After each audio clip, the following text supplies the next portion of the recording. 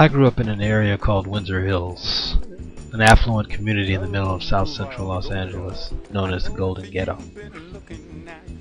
My parents were professionals who came of age in the 60s, and so the pool parties and private tennis lessons were mixed in with the Watts Prophets, and the revolution will not be televised. The trick was to maintain enough consciousness of racial injustice without endangering the material and social gains they had already made. That didn't work out so well.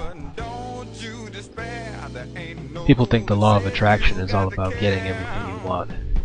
The law of attraction, like the law of gravity, is not your friend. If you fall off your bicycle, the law of gravity doesn't say, I don't want you to hurt yourself, precious, so just this once I'll suspend my power. Law of attraction doesn't give you what you want, it gives you what you pay attention to.